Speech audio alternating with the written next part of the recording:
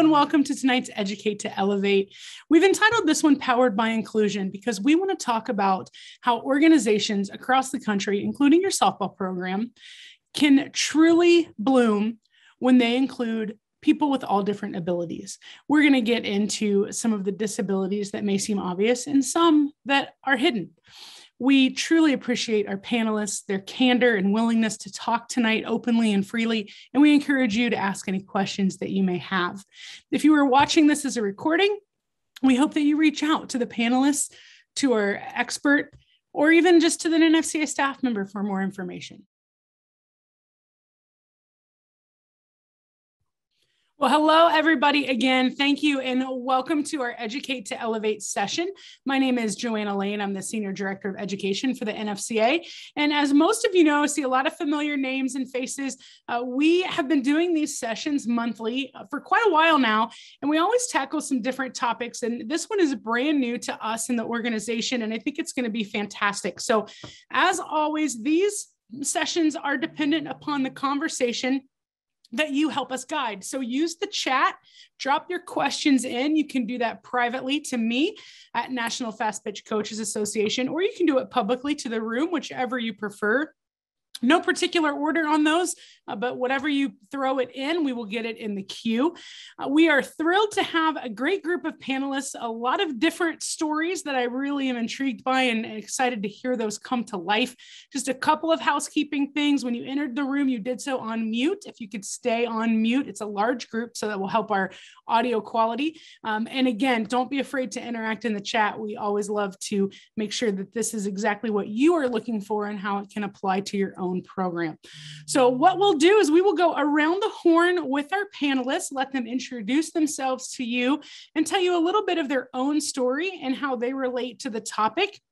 And then we'll get right into the questions. So uh, we're going to start tonight with Dr. Jo Dell Heroux. Uh, Jo Dell, if you want to kick us off a little bit about who you are, where you're from, what you're doing, and your tie to the topic. Great, thank you. Um, I'm happy to do that. So my name is Jo Dell Heroux. Um, I'm currently an associate professor at CMU, Central Michigan University, and I've been in this role for the last eight years. Um, I've been in education for almost 30 years, all of which has included working with students and individuals with disabilities or preparing future teachers for working with students with disabilities.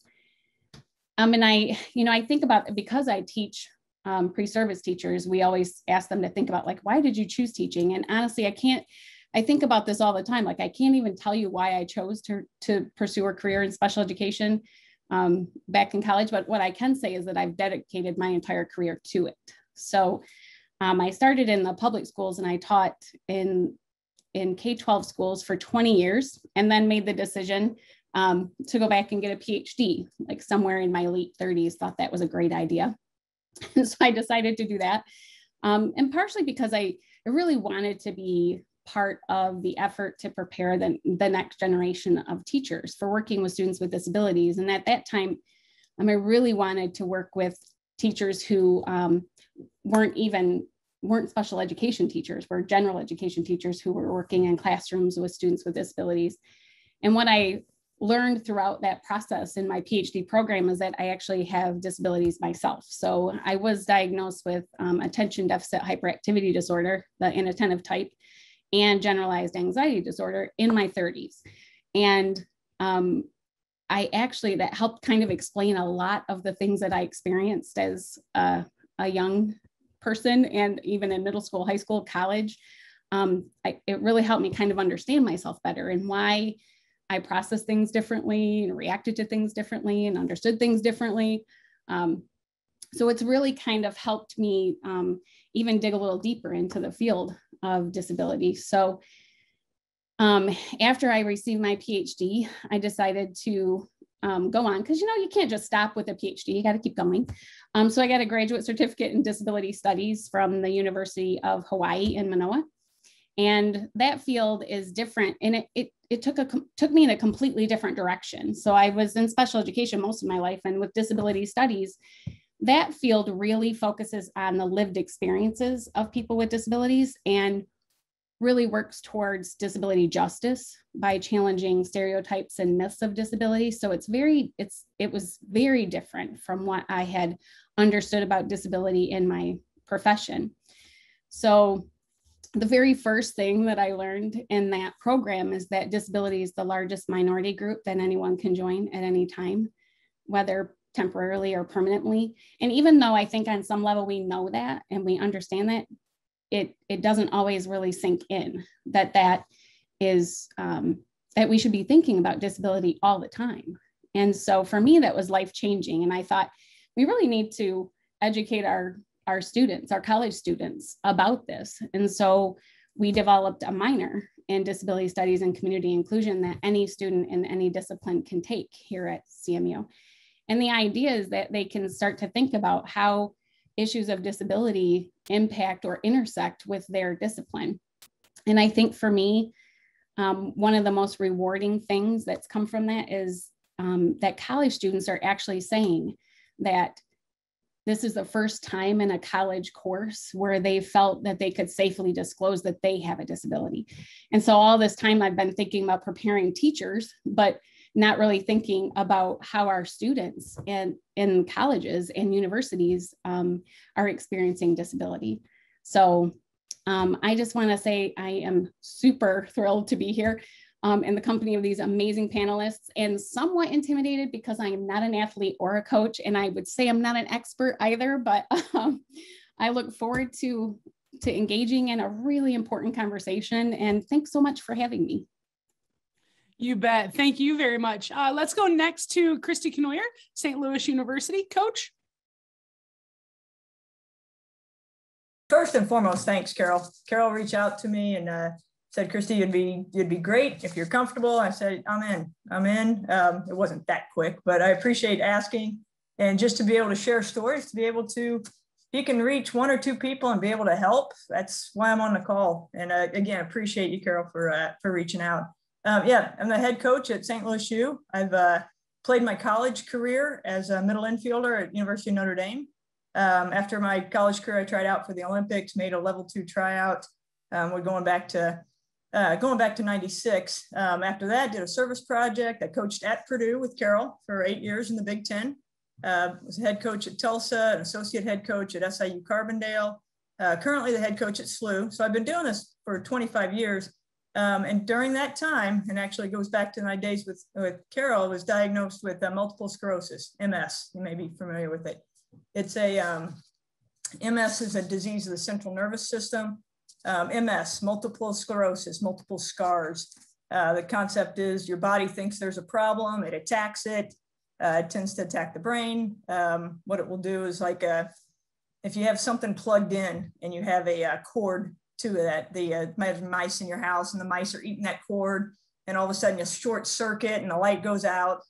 Well, my lights don't go out, but it short circuits and every now and then you have a, a it's called an exacerbation. You get a moment of double vision. You get a moment of um, something funny going on in your leg, something funny going on in your hand. I've tried to dial a phone. This was back in the day and appreciate Carol's patience with me. Um, but back in the day, you dial a phone and my brain's telling me, you know, 314, 977, but it's not coming out because those wires are crossed. Um, and I, again, I'm just surrounded by good people. Uh, where it where it started for me too, and I'm going to call Carol out a little bit. We joked about this story. Um, my MS started, or actually it started much before, but where it presented itself was when I was coaching at, uh, at Purdue. And we're at the Alamo Bowl. Carol and I are going to, uh, and we already joked a little bit to call her out, but we're at the Alamo Bowl. We're down in Texas and um, Purdue's playing. And I look at Carol, and again, it's a night game. I look at Carol, I said, Are you seeing four teams on the field? I'm looking, I'm looking out and I see four teams. And uh, I look at her, I said, You had Shiner Bock. I had Shiner Bock. I don't think we drank that much, but I'm seeing a lot of teams out there. And she starts laughing and we giggle. And, you know, I watch the game like this and we do our thing, wake up the next morning, I'm still seeing double. And so that's when to get it checked out, figure it all out. Um, my symptoms, again, have been double vision, have been fatigue, some of those delayed responses. Um, but I've been fortunate that it's a relapsing remitting form of MS, not the progressive that uh, that is out there. And I, like I said, I take medication. I do a shot every other day. Um, been managing MS throughout my career. Um, and I think my message, and, and I, I, threw this out to Carol and, and, welcome. If I see you guys at convention and you want to talk more, I'm more than happy to, to talk because um, I've, I've helped some people along the way that have had MS. Um, I even joked that I went to my first, my first and my last support group. When I went to the support group, everyone was, oh, it's terrible. The shots hurt, this, this, this. And that, was my last support group I went to, and then found other people to talk to along the way. So everybody has a different story. But I guess my message um, on this call tonight I want to be a college coach. I want to be active with my friends, my family, I want to travel. I want to dream dreams and all the things, anything I can. And I sound like a commercial, but um, I have MS, but it doesn't have me. Um, I, it doesn't define me. I know I have limitations, but they don't define me. I know that it's part of my life, but it doesn't define who I am. And uh, if there's messaging to go out to people that have disabilities and working through it, um, I can, you can still live a long, healthy, productive life, wonderful career. MS is not, uh, it's not a death sentence. It's, it's challenges, um, but your disabilities don't mean you're, you're not, you're not capable of doing what you want to do. If you want to do something, go for it ask for help, do your thing.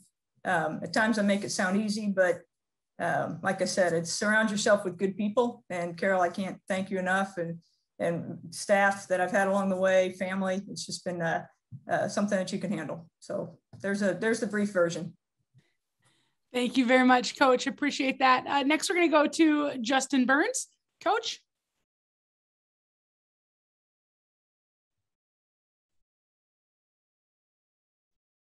Hi, my name is Justen Burns, head softball coach, intramural game room coordinator at Gallaudet University in Washington, D.C.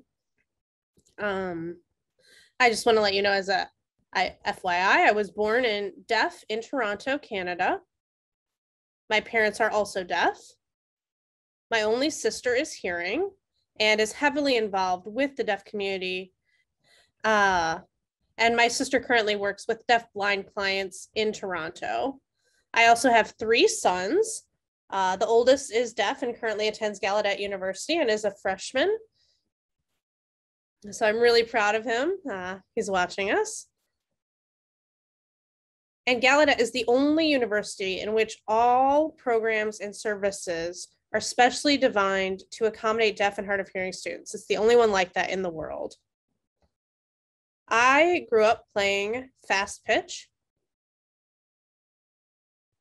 so not baseball, but fast pitch specifically, uh, as a pitcher to be in the Toronto area. And my sister was always with me because my former coach at the time was unable to communicate with me um, because he was hearing and did not know sign language. And so my sister functioned as an interpreter for nine years with me. Um, I also played for the Gallaudet baseball team And then after that, I graduated and I became a coach myself to two deaf school softball teams for 13 years, uh, both elementary and high school, and then coached at the college level uh, for seven years. I'm in my fifth year as head coach now. I have experienced barriers, uh, both as an athlete when I was a student and as a coach over the years. And still today, there are ongoing barriers that we still experience. So this topic is very important for us to share because we definitely need to educate each other about what everyone is experiencing and understand what obstacles there are and how it is that we can come together to overcome them. Like as one example, when I was playing either baseball or fast pitch, many of the players would be talking and I would have no idea what they were saying. So I definitely wouldn't have full access uh, to the panel, even through an interpreter. And on the Gallaudet team, we're a deaf university, we're a deaf team, and that's great. But what the other teams are talking about uh, is something we still don't have full access to. And then as a coach, I always struggle with the refs uh, who don't know sign and I can do a little bit of lip reading, but they have to, you know, they'll often ask the athletic director or someone else, like, hey, tell him this, tell him that instead of talking directly to me, which is what I want. You know, you talk to me, and if I need some assistance understanding you, then I'll pull someone in rather than going around me. So that's an example of where that full access doesn't happen. Or from Florida, there's a deaf ref who will come to Gallaudet and I feel so blessed to have a ref who signs. It's incredible. And then other universities, other hearing teams struggle in those situations communicating with a deaf umpire. So there can be that sort of role reversal in that situation. But I just think it's such an important topic uh, to re- you know remind different businesses, universities, organizations, the federal and state governments about hiring deaf and hard of hearing people because many people are still unemployed or underemployed because this feeling exists out there that oh we don't want to provide cart services or we don't want to provide interpreters. So those struggles persist to this day. And in the month of october uh, is this disability awareness month, which is important, but it needs to be not just once a year that we think about these issues, but that there's an ongoing effort made to keep these in mind. Thank you very much, Coach. Appreciate that. Uh, moving on to our next panelist, let's go to Taylor McQuillin. Taylor? Hi, everyone. My name is Taylor McQuillin. Um, I am a pitcher still playing softball. Um, I'm an All American from the University of Arizona and currently just finished uh, playing with the Mexican national team on our journey to the Tokyo Olympics this past summer. And I just finished up my second season of Athletes Unlimited uh, professional softball about three ish weeks ago. Um, so just trying to get back to normal life, uh, still living in Tucson, Arizona, where I went to uh, school for college. So um, I guess you could say it kind of grew on me a little bit out here. Um, but I live out here still, giving uh, personal pitching instruction with individual group and virtual lessons, um, as well as working with some teams and organizations out in the area, just trying to continue to develop softball in Tucson and uh, work to grow the game out here um, while I'm still out here. Um, I was born with Duane syndrome in my left eye, uh, which means that I am now legally blind in my left eye. And I have been this way pretty much since birth. Um, I had uh, partial, I was partially blind, I think, when I was born. And after about five surgeries um, on my eye, on my left eye, and three surgeries with uh, my eardrums, they had determined that I am now legally blind in my left eye and partially deaf in my left ear. Um, I don't have any uh, severities when it comes to being able to hear clearly um, or be able to communicate in that aspect. Um, but definitely growing up trying to uh, play a whole bunch of different sports and figure out kind of well what can i be good at? Um, and, and what can i learn how to do since i do have kind of a disability being able to have a peripheral in the left side. Um, my parents threw me into a bunch of different sports a bunch of different activities to see what i could be good at or um, what i was able to do. And i just fell in love with the game of softball at about age eight and never stopped playing ever since. And the biggest thing that I've learned from not being able to see and not having the peripheral in the the left eye is just super heavy on communication being as transparent as possible with the people on the field around me. Um, and that wasn't always easy. I think for the longest time i tried to not hide but didn't really talk about how i was blind in my left eye. And i wouldn't really have to explain it unless friends or classmates or um, you know anybody would come up and approach me and say hey like what's going on with your eye if you're comfortable talking about it um, and that's when i would kind of open up and it was about when I was 17 years old, a senior in high school, I had a reporter show up to the school and asked to talk to me. And the first question he asked was, Okay, so we heard that you were legally blind in your left eye. Can we do a story on it? And I was kind of taken back because I wasn't aware that it was a big deal or that people knew. Um, and so the the quote unquote disability that I have got brought to light as I had gotten older. Um, and I kind of used it as an experience instead of um, saying I have a disability. I used it as that kind of turning point to say, you know what, I can guide people in the right direction and, and give them somebody to look up to and, and give them that inspiration to keep on playing and keep on doing whatever they want to do um, because I'm able to live with a disability that I have. Um, and so ever since then, I've been nothing but proud to share my story. And um, I'm super excited to be on this panel and, and answer any questions that may come our way. So thank you guys for having me. Thank you, Taylor. Appreciate that. And uh, we've got another pitcher in the house, so we'll kick it over to Cat Osterman. Cat. A uh, newly three week retired um, pitcher now. Um, Taylor and I just both finished up Athletes Unlimited season two three weeks ago.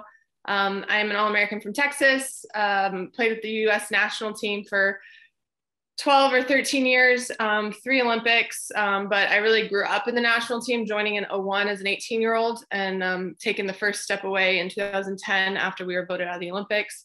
Um, but um, on the panel today, Carol asked me actually last week if I would join after I had shared my post um, on social media about kind of dealing with, living with, figuring out that I have anxiety. Um, I did that through our USOPC sports psychologist um, during COVID, actually. Um, when I joined the Scrapyard Dogs, which turned into This Is Us, um, as proud as I was of everything we were doing, it, there was something, there was something in me that just didn't allow me to fully be able to function like I wanted to. And um, once I got home from that, my husband was laughing because there were times my phone would buzz and I would just like chuck it across the car. And he's like, "That's not necessary." I'm like, "I don't want it near me." And um, just did some soul searching, obviously reached out for help with our sports psychologist, um, talked with him at length um, a couple times. And then finally he's like, I think you need to call your general physician and talk to him. And um, so I did. And I got on medication, which is great. Um, but more I kind of did research and self-reflected. Um, there's a lot of situations in life in softball where I think I had learned to manage or people realized that those situations were overwhelming for me and they were able to i don't want to say protect me but just be able to guide me through it without knowing without me knowing really that i was overwhelmed. Um, sometimes you know I, I had friends once i finally said you know hey guys this is what's going on my inner circle. They were like really? We just always kind of thought that's you like that's who you are. And i'm like maybe but i but having to now look back and and see situations and like could have been handled way differently if i knew what i was battling and what was going on. Um, a lot of mine comes from i don't want to say not being in control of the situation but having absolutely none.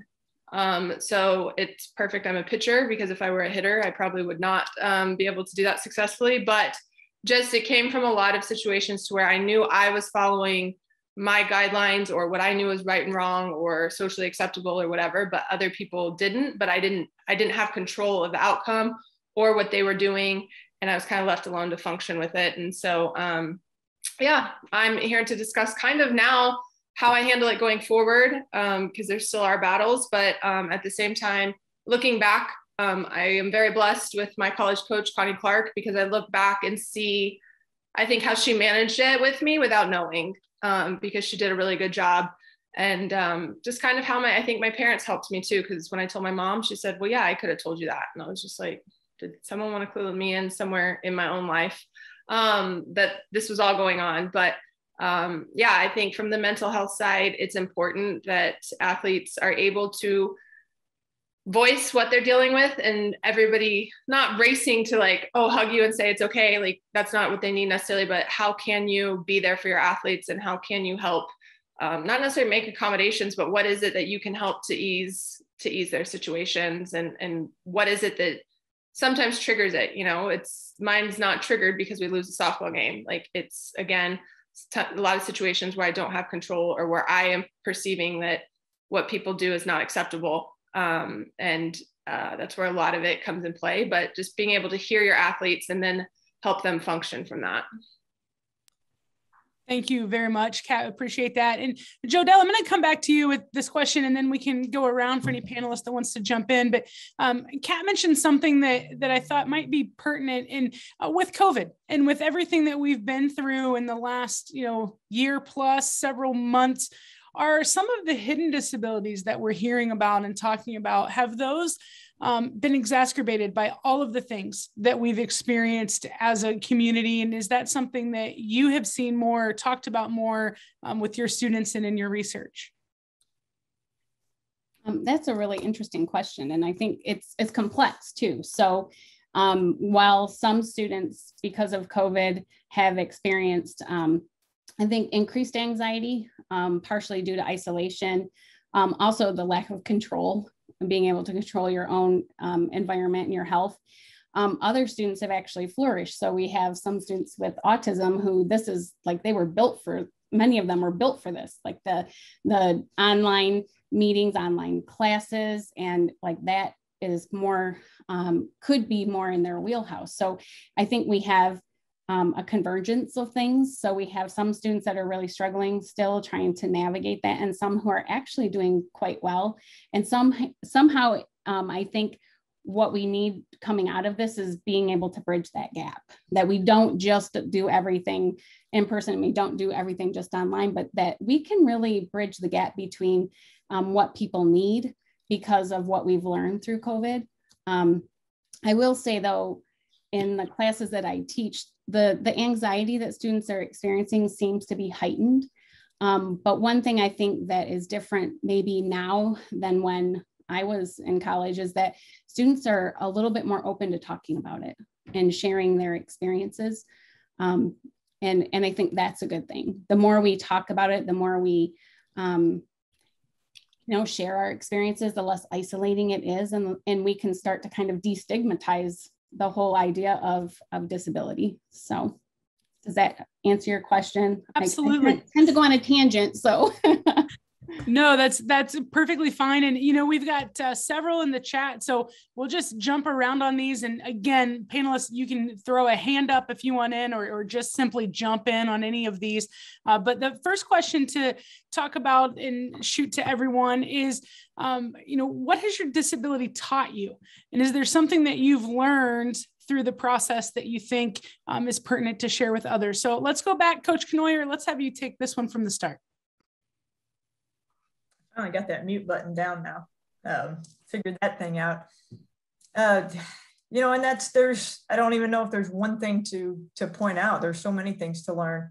I think one of the big ones is you did to uh, to lean on others, um, to surround yourself with. I said that initially. Surround yourself with good people. Uh, that you don't have to do it alone, and you don't have to manage all those questions alone, and you go through it. And and I, I I'm going to kind of go back to your COVID question a little bit. When COVID came up, um, you know, it's again, MS is, um, you know, mine's not severe. And I go through my day to day after COVID and after you see things going on. And like I said, talking to Carol, I, I guess what I've learned is, again, not have to do it alone, but if I have an opportunity to help somebody else out, to use that. And it could be just a conversation, just something that you're not alone in this. You don't have to tackle this alone. So I, I guess the, the messaging or the, the learning in a roundabout way is you're not alone and uh, you don't have to do this alone. I, I, hear Cat talk about it, Taylor talk about it. You know, you talk about your families and you talk about um, good people that are with you. And I would, I would say that uh, when, when you get a diagnosis, you're like, oh, it's just that spotlight's on you. I've got to handle it there are others that uh, that aren't going to judge you; they're going to help you. And I think learning that was a, was a big step. Thank you very much, uh, Justen. Same question to you, whether it's for yourself or your student athletes. Uh, what are some things that your disability has taught you? Okay. Um, when I think about self advocacy, I think of examples like you know, the umpire trying to talk to someone else. And I'm like, no, you talk to me. That's what self advocacy could look like. Uh, and I might ask for an interpreter to talk to an ump in another situation. Um, with student advocacy, I'm making sure that I'm teaching them to be proud of who they are as a deaf and hard of hearing person, that it's okay to not feel ashamed about who they are. Just like Cat said, there's nothing wrong with who you are. And I believe it was Jo Dell who mentioned about the phrase hearing impairment. And lots of deaf and hard of hearing people actually are uncomfortable with that terminology, hearing impairment. Um, you know, so you can tell them that uh, that's considered a negative way of framing who we are. It focuses on the hearing loss, whereas we talk about deaf and hard of hearing people just being a communication barrier or a I, language barrier. Thank you very much. And Jo Dell, coming back to you, we talked a little bit about this on a, a planning call of, you know, defining disability and what and what that means and how it's different and and we can really get lost in some of that. Can you can you get into that a little bit for for the group and what that looks like or how we can learn from that? So I was just thinking as Justen was talking about, um, that's one of the things that I teach in classes about the social construction of disability and that there are certain environments where your impairment may may not um, may not feel disabling um, because you have access and it, it is all about access when we when we think about disability it has everything to do with like how you experience your impairment has everything to do with how you're able to access and interact with and participate in your environment. And so when we think about disability as socially constructed, socially constructed, it's just this idea that impairment exists, like that's a fact, but whether or not you feel disabled by it really has everything to do with your environment. And so when we think about even just something like like for, for me with ADHD and mine's an attentive type, but I've worked with students that had the hyperactive type, you know, you're not going to see that um, if they are busy. If students are in athletics, for example, and their body's moving all the time, you're not going to notice that they you might not notice that they have ADHD, but if you're in a classroom where the expectation is you have to sit and study for six and a half hours a day, you're likely going to see it. Um, so it's just the idea that, you know, the more we can create this, this world, this environment where everyone can have increased access, the less disabling the impairments feel. So um, I think that's probably the biggest takeaway for my students is understanding the difference between impairment and disability and really the idea that um, the world isn't really built for people with impairments. The world is built for people who are able-bodied, able-minded. So um, and the more we can think about creating this space that's more inclusive, the less disabling it is. And it's really better for everyone. So when we think about designing spaces and places and experiences for people with disabilities, everybody benefits. Thank you very much. Appreciate that. Uh, Taylor, let's come back to you. How about some things that you have learned through the process? Yeah, I mean, for me, I think the the biggest thing is um, like i said before learning how to communicate and and try to be as transparent with others as possible um, it, whether it's on the field off the field whatever the situation is i think the like i said the older i got the more i realized like oh wow this is a little bit different. Like we'd be sitting at arizona conditioning after practice and we would do these um, these conditioning drills with speed and footwork where we'd have these lights that would be in our peripherals. And when you see the light go off you would go. And i'd be sitting there and i was like okay well somebody's going to have to tell me when this light on the left side goes off unless i'm just staring at it and realize that the right one went off. So um, or i would take a step back and and it, it didn't uh, it, I, it didn't take me out of the drill. It just limited what I was able to do. Um, but I think just just kind of going back to um, what Jo Dell was saying about being put in those in those positive environments and and the real world is is made for people without disabilities. I think that's 100% true. Um and and you know for people with whatever disability they have just learning how to adapt i think that's the biggest thing. Um but for me it was kind of the opposite because i ne- i've never really seen my disability as a disability. And um i remember my freshman year going into arizona and even before my parents would always you know tell tell these coaches like hey we just want to be transparent with you as well. Taylor is legally blind in her left eye. Is that going to be an issue like with her recruiting process at this university or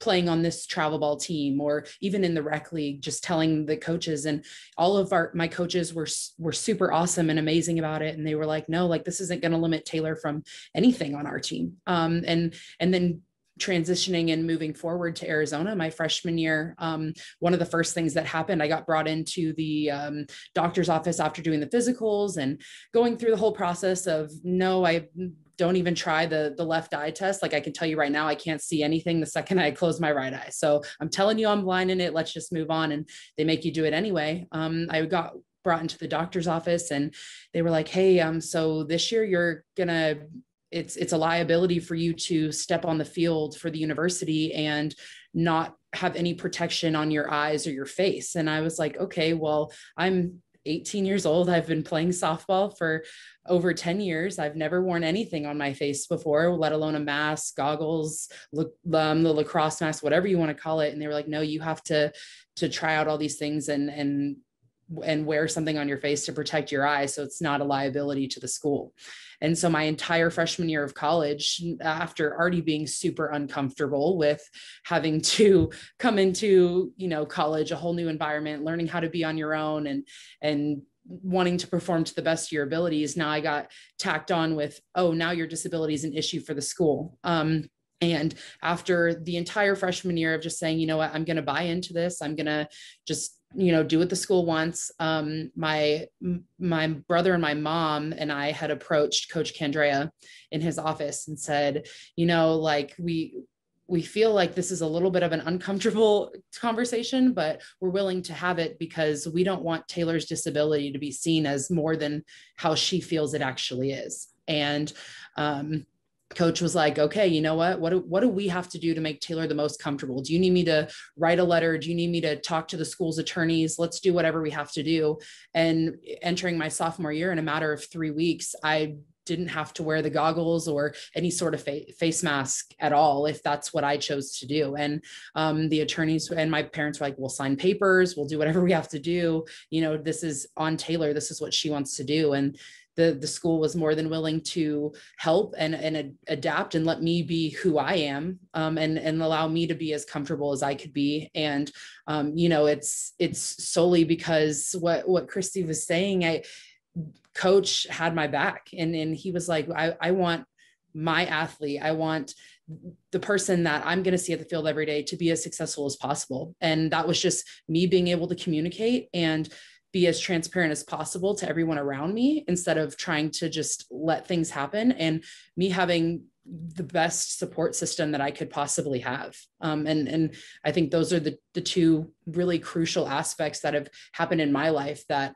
I would encourage upon everybody else, just finding that strong support system and not being afraid to communicate and, and lay out how you feel, because that's helped me tremendously. Well, thank you very much. And it's a terrific segue to Samantha Ekstrand, who we keep on all of our calls to throw the very difficult questions to. Uh, so Samantha, I just want your reaction as you're listening to this um, as the, uh, the legal counsel um, of what, what you think and what coaches should be aware of.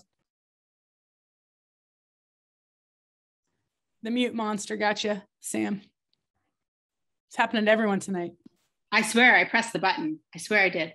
Um, third time's the charm. So I was shaking my head as you were telling your story, Taylor, and I'm so sorry. Um, that sounds like attorneys who really missed the boat. And, and I really don't, um, I cringe when I hear that because they just lose sight of what the issue is and what the purpose of the law is. And it is not to make you feel different or, um, you know, extra anything, extra burden, extra liability. I mean, what a horrible thing to to call you in your condition, right? Like you're a liability for the school. Um, you're not. You're an asset, and you just have something, an impairment, something that's a little bit different. Um, that we have to, you know, figure out how to best support you. And but I think the takeaway is, and it's sad, um, is you have to advocate, right? And kudos, you know, to your coach for stepping up and and recognizing. And coaches do that sometimes with disabilities um, they get a little bit nervous about how to, but it certainly does help when you have some years of experience um, to say to your athletic administration, wait a minute, this is not intended supposed to be an extra burden or make um, make this athlete feel um, different, segregated, you know, w- whatever that negative feeling is. And, and a lot of times those extra precautions or measures, um, well, I'd like to give people the benefit of the doubt you know, in situations like that, I, I frankly don't. I think that they really missed it, but I'm glad that it worked out, you know, in time for you to feel like you could play comfortably. So I think the takeaway for coaches on the call, you know, is you you absolutely have student athletes on your roster, um, or will have, you know, a student athlete on your roster with a disability. And sometimes you'll know, and sometimes you won't. Um, and if you you have to walk that line of privacy very carefully as well, you know, whether they want to disclose that to you or not.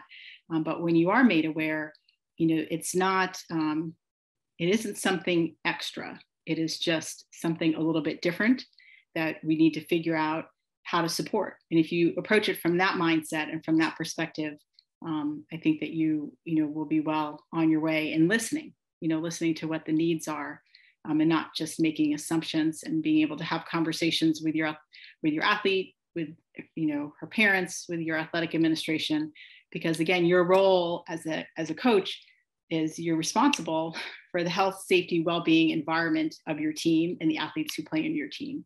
And so that's where, you know, I think you get pulled into this and that's your responsibility. So I'm, I'm glad that ultimately it worked out for you. But um, I think in this world of disabilities, and my husband does a lot of work um, in educational disabilities and kids who have learning disabilities in school settings and making sure they get accommodations and support. And um, the amount of advocacy that needs to be done at this point in time is can be frustrating and a little sad, but it we just it is what it is. And at the end of the day, we gotta make sure that these students and these student athletes um, get the support and feel supported in these environments so that they can learn and flourish um, just like the students without the disabilities. Thank you very much. I appreciate that. And uh, Cat, let's go to you and you can round out this question and then I'm going to stick with you on another one. So anything particular that you haven't shared already that you really think that you've learned through this process?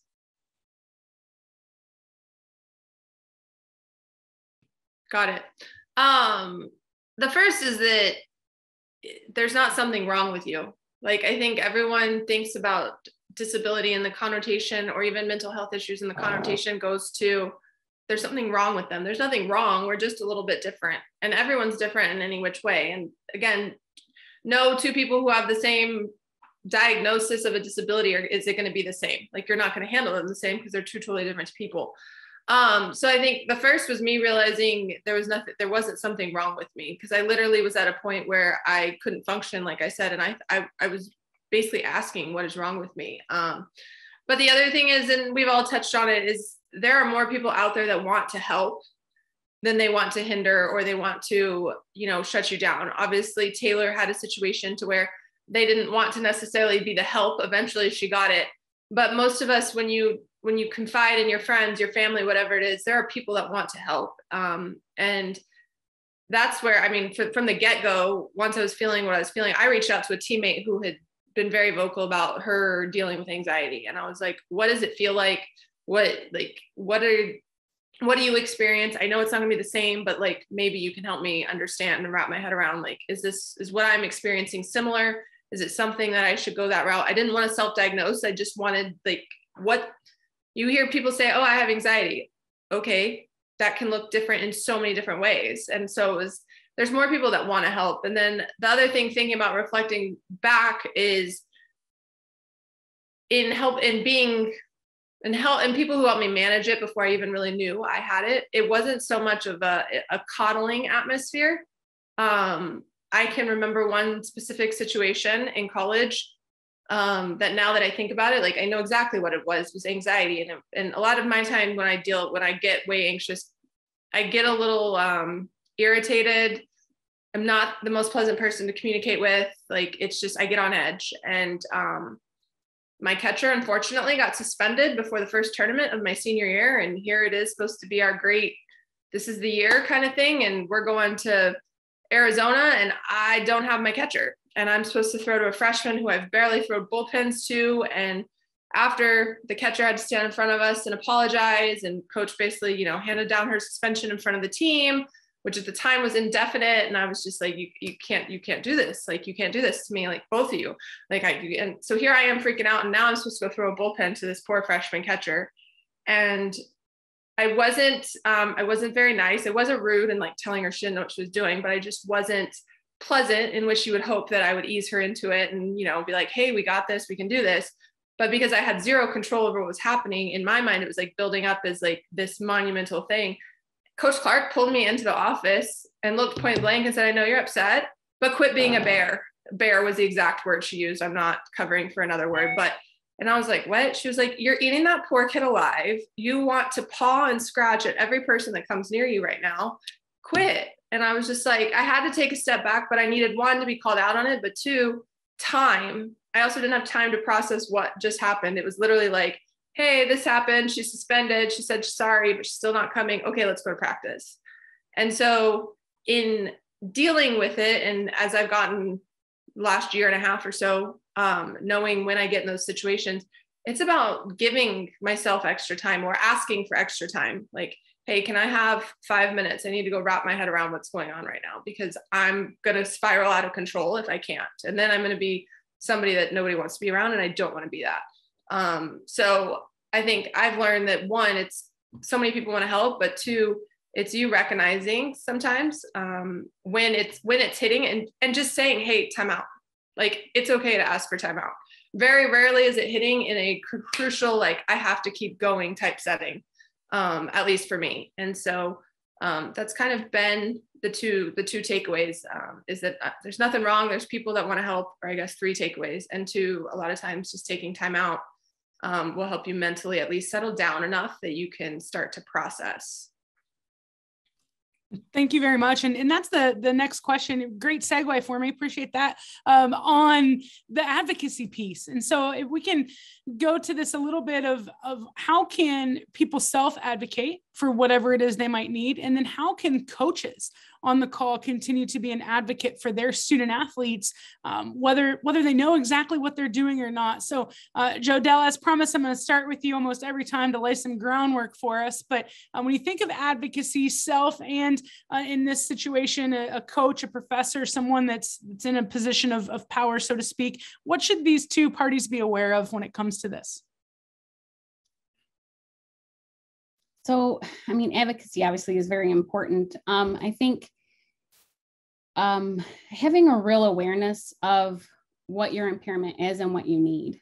Um, you can't, it's really difficult to advocate for yourself if you're not entirely sure, you know, what your needs are. I think it's also important to know what's, um, that accommodations or advocating for yourself is really generally about adv- getting accommodations so that you can um, do what you need to do and have what you need in order to be successful at it. So I think at advocacy our own um, advocacy has a lot to do with you know knowing the law knowing what your rights are um, but i think advocacy in terms of like coaches advocating for their athletes um, i was listening to um, just this last um, response to the to the question and the whole time i kept thinking like um, we have a tendency as you know non-disabled people have a tendency to kind of um, we're using our own bodies as a frame of reference. So we don't actually believe people with impairments when they tell us things. Like we didn't believe that,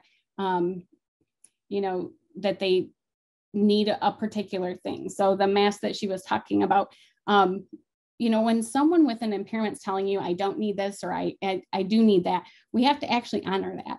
And when you advocate for someone with a disability, you have to take the time to get to know them, take the time to find out what they need, what they want, and then you can successfully advocate for them. Um, a lot of times people just time, you know, people do want to help. And a lot of times we swoop in and help in ways that are not actually helpful. so I think before we do any kind of advocacy for an individual with an impairment, we have to find out what they need. Thank you very much. Uh, Justen, let's come to you. Um, any advice you would give for coaches or suggestions on the best way to advocate for student athletes um, or for someone to advocate for themselves? Okay. Um, when I think about self advocacy, I think of examples like, you know, the umpire trying to talk to someone else. And I'm like, no, you talk to me. That's what self advocacy could look like. Uh, and I might ask for an interpreter to talk to an ump in another situation. Um, with student advocacy, I'm making sure that I'm teaching them to be proud of who they are as a deaf and hard of hearing person, that it's okay to not feel ashamed about who they are. Just like Cat said, there's nothing wrong with who you are. And I believe it was Jo Dell who mentioned about the phrase hearing impairment. And lots of deaf and hard of hearing people actually are uncomfortable with that terminology, hearing impairment um, you know so you can tell them that uh, that's considered a negative way of framing who we are. It focuses on the hearing loss whereas we talk about deaf and hard of hearing people just being a communication barrier or a I, language barrier. Christy same question. Anything you would add? I had two thoughts and i got the mute button again. Still rolling with it. I think um, a, a, just a story. I remember playing at Notre Dame. Liz Miller was coaching, and um, it was one of those exacerbations where I couldn't see the ball. And, and at that time, and it kind of goes back to some of the discussion, Cat, you were saying about you didn't know what it was necessarily at the time. I just thought I was being terrible as a shortstop. Coach Miller still hit me the ball, hit me the ball. I'm like, hit me more, hit me more. I'm in tears. She kept going. I couldn't see. I couldn't see the depth of the ball. I couldn't, it wasn't diagnosed at the time, virus, whatever the case may be, but um, we both got frustrated. Um, and multiple years later, I tell coaches not to make her feel bad. I said, "Hey, we figured this one out. I wasn't as bad as you may have thought at the time, but that uh, that moment of that depth perception and that moment of going through it and going through it and keep working and keep working. And I take it to you know coaching now what I'm doing. And it, maybe this doesn't an- answer the advocacy, but I had a kid that was struggling again, fielding ball, fielding ball, and and it's not not a bad kid and not a bad bad uh, player finally got her eyes checked and had to get contacts. And I know this is something kind of small, but the disability helped me learn to ask better questions and to realize, okay, I could just beat this kid to death and just keep hitting and keep hitting and keep hitting. Um, but I stepped back and said, you know what, let's get your eyes checked. Let's figure out what it is. So kid got kid got contacts. Um, and again, talking about advocacy, and I, I like the uh, the language we've been using. Um, you know, Taylor, you said that never seen my disability as a disability. Um, nothing wrong, just different. Um, I've, I've said it before, it doesn't define me. I think the advocacy piece is still having your student athletes set the goals that they want. May it look a little different? Yeah, but still setting goals, still, and, and how are we going to work within those? Work with with your limitations, with your disabilities, whatever you want to call them, work with that, but still set your goals, still, still pushing for those. Thank you very much. Appreciate that. Coach, um, thinking about your playing experiences, Taylor and Cat, we'll go to you two on this one. Are there things that you wish coaches um, would would have done or could have done to help transition the times that were difficult for you in any way, shape, or form? Anything in, in hindsight that you think about? Taylor, you want to go first? Yeah, sure. Um, I don't, I, like I said, most of the coaches uh, that I could play for, like, I can't even think of one off the top of my head that had ever, you know, taken my disability and ran with it the, in the wrong direction. Um, they have been super helpful. Um, and I think the, the biggest thing is that they, uh, treated me like a normal person. they treated me like just another normal athlete on their team. Um, and my teammates did the same. So I, have had teammates that, um, you know, have, have spoken about me in um, interviews that I've overheard or that I've seen that have said, you know, I, I forget that Taylor is blind in her left eye. I don't even, sometimes I don't even remember. Um, and to me, that's a big win because that means I'm doing something right to um, be normal in their eyes. Um, and and I think that it's helped more than hurt because my coaches have never said like, oh, she's she's different.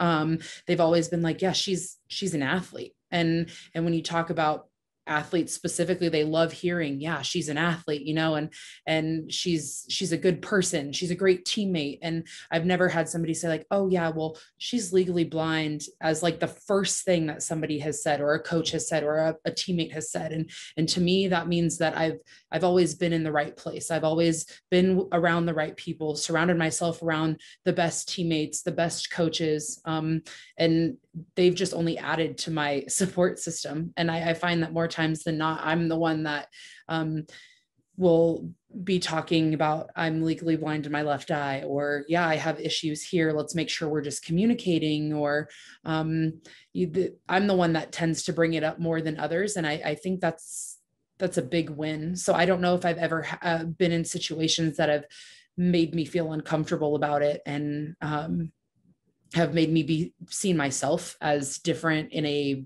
in a bad way um, other than just my experience with the, the university and the the athletic attorneys that they had but like i said i think you know coach Candrea, he was like, I wish you would have approached me about it sooner. We would have gotten this taken care of. And, um, you know, I kind of let myself be the burden in that situation. And I, I, I don't want to be a burden for having to uh, cause all of this to go to attorneys and say let's make something different. Um, and he was like the only burden you're putting on is is yourself. You feel like you're a burden to other people. Let us take care of what we need to take care of to help you.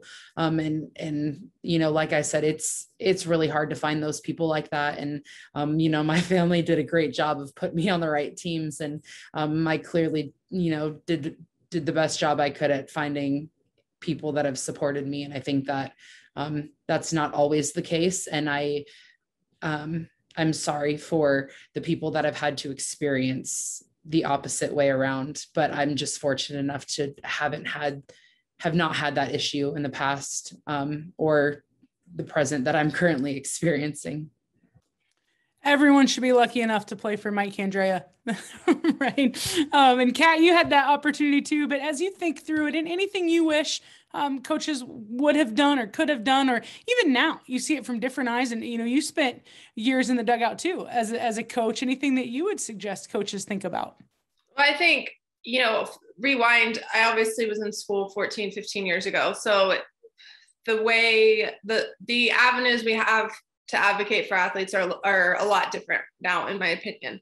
Um, there's more, whether it's sport psychologists or counselors just designated for the athletic department where we didn't have that um, back then. And, you know, don't get me wrong. Um, I look at it now and again, another situation that I can chalk up to, okay, this was me not being able to handle life. Um, and my anxiety, our academic advisor kind of suggested, Hey, we have a therapist that you can go see if you, if you want to go talk to somebody. And I was like, if, if everyone thinks it's going to help, I'll go.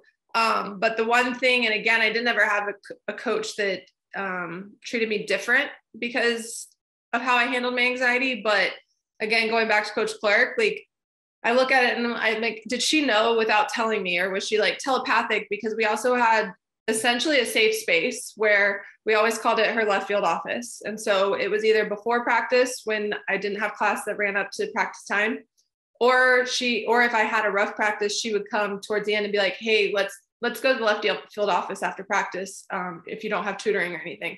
And that was a, that was my safe space to just kind of talk to her about whatever. Um, softball school you know academic counselor whatever it was. And more times than not i was venting about things that probably were without my control and i got the whole control the controllable talk but i had a safe space to be able to do that um, now I don't know that she did that with as many of my teammates, um, but at the same time, I don't know if they needed it or not. And even if she did, I don't think many of my teammates knew I did that.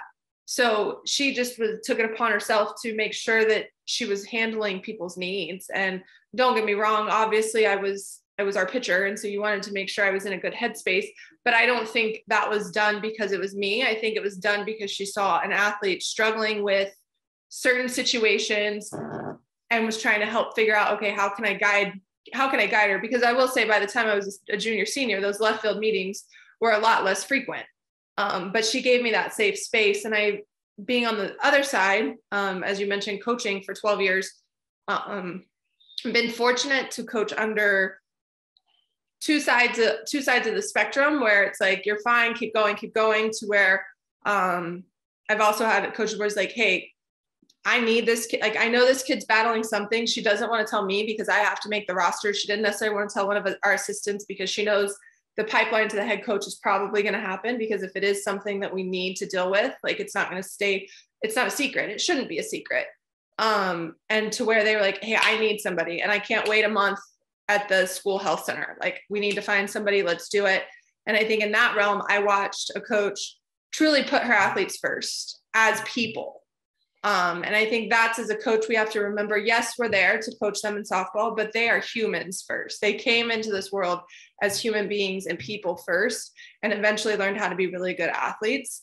And we have to remember that that human piece has to go before um, the athlete. And if it means they have to miss a practice to go to a therapy session, or if it means, you know, um, Christy mentioned, I think it was uh, getting her eyesight checked. Like that's a real thing. There's some athletes that don't realize they don't see well enough until, you know, two or three years into school, and then all of a sudden hitting becomes a little more difficult. And just getting your eyes checked and getting contacts or whatever can change night and day. And you know, um, as a coach, not making a joke of like, hey, do we need to get your eyes checked because your batting average dropped, but like genuinely thinking, could this possibly help? Like, do you have problems with eyesight in your family or whatever? But again, those are human pieces that you have to be interested in and you have to be willing to ask the questions um, and get to know your athletes to know that. And so, um, again, you know, like Taylor, I, I, benefited having coaches that I think helped me along the way. Um, and never something where I sit back and I'm like, oh, I wish I would have, I wish I would have gotten this. Um, I wish I would have known about it when I took tests in school and stuff. That would have explained a lot. But um, again, that's not something I needed accommodating for. I just needed to learn how to breathe through it. But um, as a coach, we just have to remember the human piece is so much more important. Like the athlete cannot come out if the human piece is going through a tailspin. And I think I learned that more than anything um, last year when this is us and everything, because I was throwing fine. I was throwing bullpens fine but then we were having meetings to plan what we were going to do and what this and this and that and like on the morning before game and then i would go throw and i couldn't i, I pitched so bad it was embarrassing um, for me. And that was to the point where i i had to figure out like what do i need to do? And i realized i needed to put the human first and you know i couldn't i couldn't stay there and keep pitching because there was no way i was going to be successful and that wasn't going to help anybody Thank you very much. You know, one thing that's been consistent through a lot of these sessions over the last year and a half or more has been the importance of the language that we use and the words that we choose. And it's been on a variety of topics. And sometimes it's scary because you just you don't know how to say something or what to say. Um, and I'm just curious, uh, Jo Dell, for, and we'll go around because it's different for everybody, but for coaches who do not have a personal experience to draw from, who have not had an experience with differently abled student athletes, family members, whatever it might be, um, what should coaches be thinking about in the best way to educate themselves to understand? Um, to authentically ask the questions or, or provide accommodations that they want to, but are afraid they might mess up? Um, I think that's a really great question. And um, I don't know that I have a great answer, but what I can say is that um, we have this fear of offending and fear of getting things wrong. And I think so when I'm talking to, to students about disability and the language that we use, um, and, and there's a lot of different ways to refer to disability. There's person first language. Um, there's also identity first language, depending on you know what what people prefer. And so when I'm talking to my students about it, they'll say, "I don't even know what to say. Like I don't know how to." And and there's this fear. And I said, "Well, you know, it's it's a lot less about being right when you do it, and it's a lot more about getting it right." So one person with an with an impairment might prefer this um, identity first and be prefer to be called a disabled person. And another one might prefer person first and would like to be a person with a disability. And it's like Cat was saying it's it's individualized. You have to think about the people and how they prefer to be referred to. And we're not always going to get it right um, I think at the end of the day, as long as we just acknowledge the fact that disability is complex, life is complex, human beings are complex, and we're not always going to get everything right all the time. I think what matters is our um, our willingness to listen to others and our willingness to um, to hear them and then honor what it is that they need and want. Um, that's what matters a lot more. And so, as far as language goes, there's a lot of euphemisms we use, and one of those is special needs. That one's really, we're trying really hard to kind of eradicate that one. So, I'll share that um, because it doesn't, it doesn't really help. It doesn't, it's not um, descriptive it's not it doesn't do anything and a lot of times people with disabilities will feel like it's infantilizing as well um, so we're really trying to work around you know, and and not being afraid to use the word disability. So we use special needs as a way to kind of soften or make it a little less um, direct, but disability is not a bad thing. And if we're going to destigmatize that, we have to be able to say the word. So um, we're really kind of working on, on language like that. So. Thank you. And I think there's so much truth to what Cat said earlier about I was in school 14, 15 years ago. And you think about our own experiences, whether it be elementary school and inclusion or the lack thereof, and, and how that continues to change, and whether it's mental health or different things like professional sports leagues not using the word disabled list anymore. Um, that took a really long time you know to be able to change that terminology when someone was was injured and, and just different things so i think even just being aware of of the terms and, and things that are used uh, and just asking the question of does this make sense or is this right um, and we're going to go around on this one but uh, let's start with you, Justen. Are there, are there any things that you would encourage coaches to think about when they're trying to help or provide assistance and, and worried about maybe saying the wrong thing or doing the wrong thing? Yeah. So I think if you have a deaf or hard of hearing athlete or player at your university who's on your team, the recommendation that I would make is to reach out to either Gallaudet University or the local deaf community. If you don't have any knowledge or understanding about the deaf person, to do some research on your own uh, and ask that local deaf community to help you if you have a deaf or hard of hearing player instead of depending on them for everything. Thank you very much. Appreciate that. Uh, Christy, how about you? Thoughts on how coaches can navigate this? and I think Cat alluded to it as well. Um, it's it's I would say build relationships outside of softball. Um, so if you get to know a kid, or we do a lot of academic meetings with our players, and so they'll come in, walk through their syllabi, and we um, we talk through, and, and you can hear their passion for what they're studying. Um, so you're starting to build relationships, not just can they hit the outside pitch or can they throw a drop ball. It's they're passionate about civil engineering and building a bridge. So you're starting to build a relationship outside of the field and building that trust that's separate from the field. Um, and, and again, I always say we're we're not friends, we're friendly. So you're you're we're not we're not best friends, but we are going to uh, uh, be friendly and, and get to know the kid.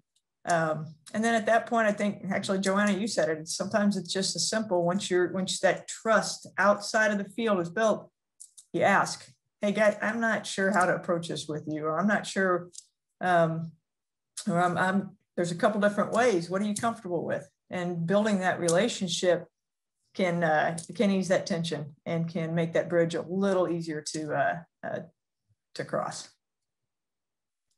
Thank you very much. Appreciate that. Uh, Cat, let's start with you this time from the player perspective. Any any advice you would give in navigating something that would would possibly be difficult? Well, I think from the player perspective, you don't have to come straight out and say, "Hey, I think you're dealing with this," or "Hey, you know, in in Taylor's case, if a coach were like, "Hey, I don't think," like you don't have to come out and address what you think might be causing an issue or using the disability as a crutch or the reasoning right right at the get go.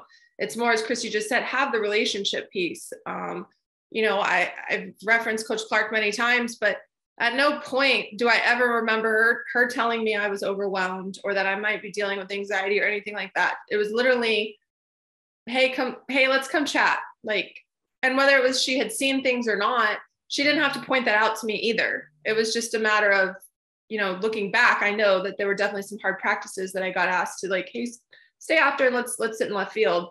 Um, but she did it without me really knowing that she was trying to address the issues going on within me that I didn't really want, whether I wanted to or I just didn't recognize, period. Um, so, but it comes down to, as Christy said, making those relationships. I mean, even from the coaching side, those relationships matter because, again, if a kid's, for instance, in college, I had a great relationship with Coach Clark and our pitching coach, Marla Looper, to the point that their offices were close to my dorm that I stayed in for the first two years. And in between classes, sometimes I would just pop in the office and sit on the couch for a good 20, 30 minutes sometimes talking to them, sometimes just reading my book for class, sometimes, you know, someone else would pop in and we'd all just joke around or whatever. But again, they weren't my friends, but they were people I trusted to where if I needed to go in and either talk seriously or even I just needed some time to to kind of just unload for a little bit, I was comfortable there. And I think that's an environment is you should make an environment to where your your athletes are comfortable coming to you and again not as not as your not as their friend but comfortable enough that they can come to you and you're in a formidable position to where second to their parents you're going to have the most access to them like it's incredible the amount of impact coaches have because of how much time we spend with them but they need to be comfortable that they can come to you even with something that's not necessarily sport related Thank you very much. Uh, let's see, Taylor, anything that you want to add on this one with uh, coaches and navigating the territory? Yeah, you know, I think that Christy and Cat for me hit it right on the head. I think just being able to build those relationships. Um, and and Cat's right. You know, the coaches are around you all the time, um, pretty much just like your family would be if you were at home all the time. They just don't live with you. But um, I think that it's just for me, we everybody that kind of went through Arizona softball program and now that is an alumni just sees coach as our, our second our second dad and that's what he was to us you know while we were there and that's what he could still be to a majority of us now um, and it's it could just be as simple as I mean, coach knows everybody's birthday. He writes it in his planner every single year. Every time he gets a new planner, he flips through the old one, writes the birthdays down, and you're always you're always going to get that text on your birthday like happy birthday, me and Tina sending you our love or hope you're doing well. Let's catch up soon. Just just simple stuff. And it, it's it's as easy as just building relationships. You don't have to be their friend you know you can you can be friendly but you can also as a coach be yourself. Um, but i think that the, the biggest thing um, that i feel like successful coaches do very well are understanding that not every player they have is the same. Um, disability or not every player is different and being able to um, find that relationship or build that relationship um, together whether it's you know one player or the other finding that relationship that works for you guys. And i think that that it's going to do wonders because there's some girls that you know don't really feel comfortable all the time going into coach's office but just having them know that it's accessible and you can go there whenever needed. Um, and, and that's something that I felt like Coach Candrea did really well for his players is saying, my office will always be open for you. If I have meetings, somebody comes in, I will make sure that I have the time for you. Um, so it's just building those relationships, making the time for all of your athletes and knowing that all of your athletes are different um, and, and and not all of them can be treated the same because that's just not their style. Not we're you know we're not robots. We don't walk around and do the same thing. Like it may feel like we are. So just having that personableness in that relationship is going to be huge. And then that's going to open the doors for trusting the coach to athlete relationship and opening the doors to say hey you know what? Like me as a coach i don't really know how to help you in this situation. Is this something that you want help with? Is this something that you don't? And it's going to be a lot easier of, of a conversation to have um, because that's what it should be a conversation. It should be something that's like hey this is how you are. Is this something that you want to change or no? Like that's not a conversation. A conversation is being able to openly communicate not shying away from the situation at hand but not feeling like there's anything to change or or address address either. So um I, I think that everybody fed some really solid information that if you put them all together it's really going to help the the coaches. It's really going to help the athletes know that these are things that you should want to do as well when you're trying to communicate with your coaches as well Thank you very much. Uh, we're about due for Samantha chime in. Samantha, anything that you would add for coaches to consider? Well, you know, I love the relationship piece, and you know where that starts. That starts the recruiting process, right? That's where you start developing those relationships when you take your time and have conversations and get to know and figure out if this is a good match. So, just a reminder there. But, you know, I think it's also important to really understand, and I think Cat said this like what your role is. You are a coach, right? You are a softball coach and you do see these athletes a lot. And so you will probably notice things sooner because you have that daily interaction or that daily observation. It is not your job to conclude or diagnose if there's an issue or, or you know, if there's um, something going on that, but, but, but you do need to be aware of the resources that you have, whether it's in the training room, whether it's sports psychology, to be able to have that safe space in left field in your office to bring him in and say, hey, this is what I've noticed. I'm just concerned. Are you okay? You know, let's talk about, would you like to talk about this? And then I want you to make sure you know that we have these resources at the, you know, here, and I can help connect you, you know, and, and try to remove that obstacle um, or that barrier, that feeling of, you know, overwhelmed or where do I go and be a facilitator. So I think sometimes what I see with coaches is they want to fix it. You know, they want to fix the problem. They want to and, and some of these, it really is just you're noticing and you're facilitating a connection to a resource that will be able to hopefully provide um, you know, more support or, or maybe even a diagnosis. Um, but just remembering that and kind of staying in that space. And Taylor was, you know, was talking about that just now too. Thank you very much. I don't know if anybody would have had the over um, for talking about recruiting from Samantha on plus or minus an hour and 15 minutes. I would have taken the under every day of the week, but there you have it on the chime in. Um, we do have one question left in the chat. So I'm, I'm going to just say it out loud and then we're going to go around for closing thoughts. If you choose to answer that question in closing thoughts, that's fine. If you go in a different direction, that's fine. But uh, the question was how do we make the softball community um, more available uh, and increase awareness and assistance for those with disabilities in the softball community. So if you want to take that, feel free. If you have something else on your mind, that is perfectly fine too. Um, so we will go through and uh, do closing thoughts from our panelists. Uh, Jo Dell, let's start with you, and then we'll keep that same order. So we'll go Christy, Justen, Taylor, and Cat. Jodell? Um, so closing thoughts, we've covered a lot of ground tonight. So um, I think, first of all, I think it's really important that this is even happening, that having a conversation like this, um, it's so important. And to have um, so many different voices, the diversity of the panel is so important. Um, but I would say, in closing thoughts, just carrying on beyond this and being able to take what we've talked about here um, and and use it, you know, in all of our different areas. So um, I I think um, disability, like I said, disability is really complex. We're not going to solve any you know major issues, but I think having the conversation and opening it up, and especially in athletics, is so incredibly important. Um, so I guess my closing thoughts are just that um, let's keep doing this somehow, some way. Thank you very much. Appreciate that. Christy. Yeah, I, agree. And uh, and to go along with it, hopefully answering the question a little bit, but I appreciate the vulnerability on this call um, and everyone uh, going in areas that may be comfortable, may not be comfortable. As soon as you got to that point of being comfortable of sharing, I think that's uh, uh, that hopefully answers a little of the question: How do you continue it on? Um, helping people be vulnerable and and willing to share. I think uh, it helps you realize you're not alone. I think the other, in terms of closing thoughts, was interesting. A good uh, good coaching friend of mine said to me once. Um, she goes, "Christy, you do what I do, but you have something I don't. You you do what I do. You coach, I coach. Yet you have MS. You have something I don't. Kind of like own it. That's pretty special. So."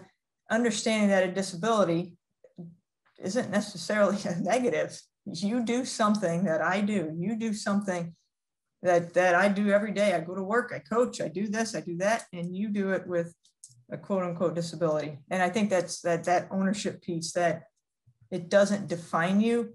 I keep saying that, uh, just like oh, you're you're a softball coach, you're a softball player, you're a, no, that's a part of my life. You're also you're a parent, you're a you're a sibling, you're a your mother, you're all those things you have MS, you have these these disabilities. It's part of part of who you are, and I think that uh, recognizing that, accepting it, and you know, again, you've got something that, uh, that someone else doesn't. Own it and go on and do your thing. It's a pretty special thing. Thank you, Coach. Very much appreciate that. Uh, Justen, how about you? Any parting thoughts for the group? Definitely. And I agree with um, Jo Dell and what Christy had just said as well keeping the dialogue open, educating each other. Um, in December, I know that we're getting ready to go to the NFCA, and I, I want to make sure that people are not afraid to approach me.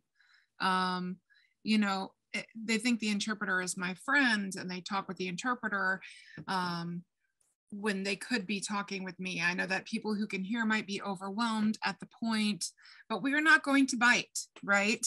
we are here to answer questions openly about students and athletes who are deaf and hard of hearing because we have that experience. Thank you so much, Justen. And uh, Justen, if you don't know him, he's a super NFCA member. You will see him at an NFCC, you will see him at a pre-con, you will see him at convention. So you will have many opportunities uh, to say hello and introduce yourself. He is he is uber passionate about learning and growing, and, and we're just thrilled to have him as part of our group. So uh, thank you, Coach. Appreciate your time and, and transparency today. Uh, let's see, Taylor, you're up. Yeah, you know, I think Justen said this uh, about an hour ago or so. One of his first comments was, I think that we can't just let this discussion be a one-time thing. And you know, everybody else that has just talked said the same thing. Um, but it is true.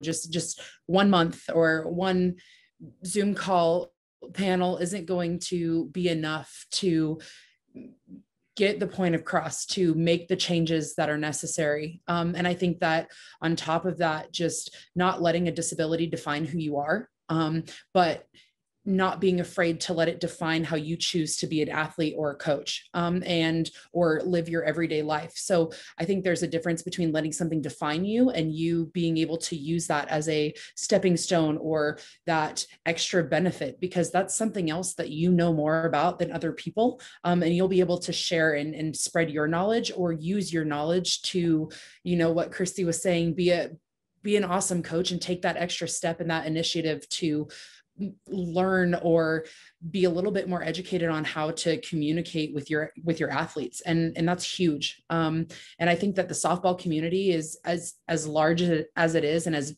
big as it's getting it's still small. Um, and and people um, at all levels know other people at all levels. So it's awesome to be able to have the community that we do to be able to continue to share our knowledge and spread the knowledge and let everybody else be able to say, hey, like we're, we're in this with you. What can we do to um, grow our, our, I guess, grow our knowledge of the game in a different light? And what can we do to then continue to pass it along to others? Um, and I think that that's the biggest thing the softball community can take out of this as a whole, um, you know, as well as um, everything else that the other panelists have said tonight, everything else is 100% true um, and and just being able to listen to everybody's stories and um, everything that everybody else has been through has been super awesome so thank you the rest of the panelists for sharing your stories as well Thank you very much. Uh, Cat, I don't know how far back we have to go to your days as a cleanup hitter, but you get to do it tonight. So, um, any closing thoughts do you have or anything you would like to add? That's a long time ago. Um, no, I think to answer the question about, you know, what, how can the softball community, um, what can be done basically is, is again, it's the relationships and cultivating an environment where um, conversation is a good thing. Um, and, and teaching, I think, obviously, I'm sure we have a number of different level of coaches from travel ball all the way through college on, but like cultivating conversation and teaching kids what's the correct vocabulary to use, what is the correct um, situational awareness to be able to have these conversations. And um, you know and again in my case with anxiety it's not like i just walk around and every time someone meets me i'm like hi i'm Cat i have anxiety. Like it's not how it goes but a lot of times i'll start to feel stressed or pressured. Does your athlete have either you as a coach or a teammate or someone where she they can be like it's coming. Like it's coming. Just help me breathe. Help me calm down whatever it is um, but allowing the athlete to be able to to verbalize what they are going through if they want to and not making it it's not taboo anymore. It's not it's it's you know we've seen too many athletes that have been dealing with it for a long time and are starting to come forward with it which is great. But in our own softball community allowing athletes to talk about what they are feeling and truly what they're feeling whether it's with softball or if it's mom and dad you know screaming their head off at them that they can't even play softball whatever it is give them that space to come to have the conversation as a coach be open to the conversation knowing that you don't have all the answers and it's okay. Sometimes you don't have to have the answer you just have to be an ear. And um, i think that's the biggest thing and you know get to know your athletes and just remember they're they're, they're people first. Um, as someone who like i said three weeks ago stepped away from playing the sport um, there were definitely times where even myself didn't see myself as a, a human and a person first. It was always softball player and i think that probably added to it to me for some at some point. Um, but remember to let your athletes know that they're people and you love them as people, whether they hit a grand slam, strikeout, whatever it is. And I know we say that all the time, but Um, I've been fortunate. I had a lot of coaches that did do that. Um, and you know, Taylor hit it. Coach Candrea is one of them, and I can attest. I get the birthday text every year. Um, I think I get an anniversary text now too. So um, he knows what goes on in his players' lives, no matter how much you played for him or not, which is really cool because I wouldn't think I'm one of his because I didn't go to Arizona. In fact, I, I told him no, which might have, I don't know. I don't want to say it was a mistake. Everything works out the way it's supposed to, but um, just have that, have that, that connection with your athletes that they know they're people, you understand they're people and humans that happen to be really good at softball. Well, thank you very much. And thank you to all the panelists that took the time to share their stories and uh, in true transparency and candor. And we're just greatly appreciative of everything you do for the softball community uh, and for the greater community that you're all a part of. So we appreciate you and your time. If you are looking for other forums and other content that's similar in nature, we have a variety of options. You can get those at nfca.org under the forums page on our website. They're always free and open to everyone. You don't have to be a member, a softball coach, or anything anything like that. Uh, we're thrilled to just have some part in carrying the conversation forward and hopefully um, creating a space where people can come together, think, ask tough questions, and advance themselves um, as a group and individually as well. So we will be back in November with a webinar. Uh, we're going to talk about incorporating mental strategies into your program, be it in the daily practice plan or in other facets of the game. So make sure that you come back in November. Check that out, November 16th. Until then, a big thank you to all, and we appreciate it. Have a wonderful rest of your evening, and we will see you next time. Thanks, everybody.